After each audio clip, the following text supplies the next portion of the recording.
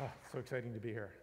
So Worldwide Telescope is a uh, virtual universe that's populated by some of the highest resolution imagery of the sky from some of the best ground, from ground and space-based uh, telescopes. So what we're looking at here is the Milky Way, which is a seamless image of the night sky. It's a trillion pixel image. And because it's a trillion pixel image, you can sort of get a wide view of the sky, and you can zoom right down into some real small details of what happens to be the Veil Nebula. But not only is there a visible light view, we have 50 different wavelengths of light from which to see that same portion of the sky, whether it's the cosmic background radiation, dust in the Milky Way, hydrogen alpha. I mean, if we go to X-ray, so if you're looking here, oh, there's a bright spot there. That's because that's a supernova remnant, and you can see the boundaries of where there was a uh, explosion there a few thousand years ago. Not only do we have all sky imagery, but we also have um, a complete catalog from the, of the public high-resolution images from the, the Spitzer, the Chandra X-ray telescope, the Hubble Space Telescope. You can look through any one of these, such as the Great Nebula in Orion, and we're trying to present the context. Where are these things? We've all seen these images, but does everybody sort of know where they are? And so this shows you that this is right below in the center of the belt of Orion, and if you zoom right in, you can start to see details you normally wouldn't see, which is a little proplyid where a solar system is being formed. You're looking at the edge of a disk and a new star forming in the center there. So that's just a little bit of a peek into the nature of the imagery that we have in here. But wait, there's more. I mean, if you want to go look at the planets, well, here's, here, thanks to our, our, our, collaborators at JPL Caltech, here's a, a nice view of uh, Mars, of course, but you know, what you really want to do is you want to be able to look at almost anywhere, and you can do that. Uh, we can even go down to the surface there and go right into Valles Marineris. Uh, we have a complete simulation of the universe here. So if we're looking at this view of the solar system, you can sort of see why Pluto is no longer a planet. But if we pull if we pull away from our solar system, you can start to see the stars move away from us, and pretty soon we exit the Milky Way, and uh, we'll go out into the large-scale structure of the universe where you can see the Sloan galaxies, and uh, we'll just show you that right here. Okay, so you can see these sort of large voids and, and eddies. But Worldwide Telescope, really, I think the exciting part for me is really about the ability to do some of these things that we call guided tours. So guided tours are really paths within this rich data environment. So here's one that was created by Alyssa Goodman, who's an astronomer at the Harvard Center for Astrophysics. But it's hard to see that because we're inside. Here's a spiral galaxy not far from us, about 12 million light years away, called M81. If we look at it in optical light, we see billions of stars shining together in a spiral pattern. If we look at the heat from M81 rather than the light, it looks like the false color orangey image we see here. This Spitzer Space Telescope image uses long wavelength cameras that can see heat, just like the one that took the picture of this cat. Galaxies are filled with tiny particles so called dust. Looks like video, feels like video, but it's not video. The problem with video is when you pause, nothing happens. When we pause, we're in the environment. So you're looking at M81, you can sort of get a sense of where it is. If you want to look at that galaxy from other telescopes, such as the Spitzer, you can look at those. You can see what it looks like in X-ray, where the high energy sources are. I mean, these tours are like a tour bus. And you're going around and you see something interesting, but if I find something that's interesting, I can get off the bus, I can jump on some of these other tours that relate to one of the things that we're looking at. If I'm interested in finding out more information about that particular object, if I was a kid doing homework, I can go look and say, well, tell me about that object in Wikipedia, and it'll go give me some information about that in Wikipedia. Or if I was an astronomer, I could go look up that in, at ADS, which is the Smithsonian Astrophysical Database, to look, do a query for all of the published papers uh, that reference that particular object. Here's the most recent one from December of 2000, 2010. So that's just an example. We could sort of continue going where we were, but I think one thing that's particularly interesting about these guided tours is it provides a way to construct a path into these data environments and, and tell stories about places that maybe you weren't, you weren't really aware of.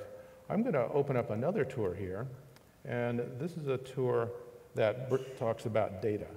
And so this is about uh, 18 months of earthquake data, starting from January in 2009 to the middle of 2010. And so we're looking at this data in 3D. Essentially, you're seeing the actual visualization of the magnitude and location of these earthquakes around the globe. So in it, we can swoop down into California, so we can all worry and see where the San Andreas is going. And it goes right through us down into California. Um, but more interestingly, this, it's taking us on a path. I can stop here and start to explore some of this data. One example is, you can see that the, the, the uh, that was the Haiti earthquake we just passed by right there. Here's some large scale, large temple uh, scale structures that you normally don't see when you're looking at thousands of rows of data. So you can see these patterns that are generally invisible. And because it's in this environment where it's totally interactive, you know, what we can do is we can pause and we can start to explore this data, essentially drilling down deep, looking at some of these structures. And like before, we could drill into any of those individual data points to start to explore that. We'll take a quick look over down to Chile, and you can get a quick look at uh, the earthquake that happened down there. And there's the earthquake and all of the related aftershocks. So this idea of guided tours, I think, has some really interesting implications going down the road. This is a tour that was created by some astronomers at Harvard Astro Center for Astrophysics about John Huchra, who was a graduate student here at Caltech, and he um, unfortunately passed away last October, and this tour is dedicated to him. So one of the interesting thing about uh, these tours is that they can be hyperlinked to anything. And because this tour is 12 minutes, I can't show you all of it. But what I, I did do is I put in these little Caltech links in here so we can jump to portions of so you can get a sense of the, of the nature of the tour. So maybe we can turn that volume a little bit more. Thank you. His principal goal was to learn the three-dimensional distribution of matter in the universe, much as we know and understand the surface of the Earth. Here is a three-dimensional view of the top of Mount Hopkins in Arizona, the site of many of John Huchra's astronomical observations.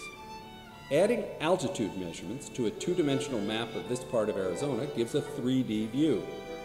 In the same way, adding distances inferred from galaxy redshifts to a two-dimensional map of the sky can make a three-dimensional map of the universe.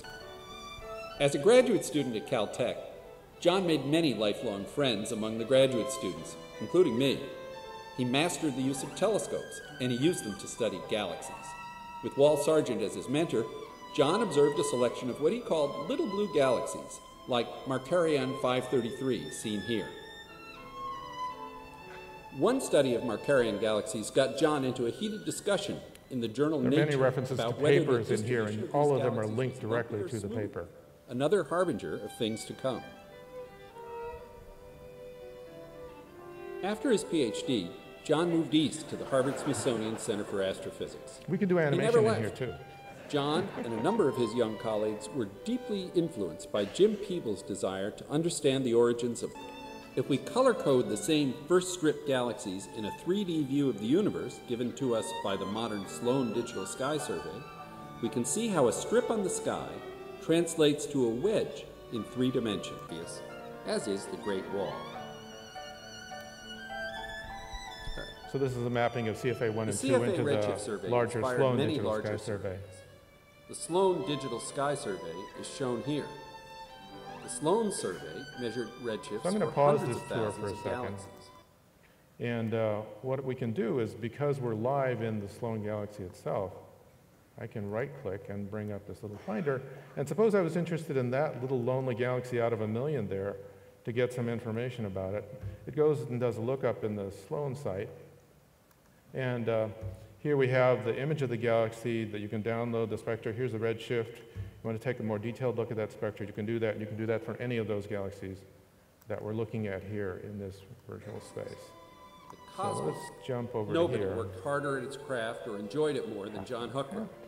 He helped us all see more clearly the universe in which we live. So some of the exciting things I think about the tour is in terms of thinking about how we can create these annotated streams of metadata that are rendered in real time to give us these rich experience, but taking people through data. As we start thinking about big data and essentially internet scientists, how we can use these tools to sort of bring them into the fold.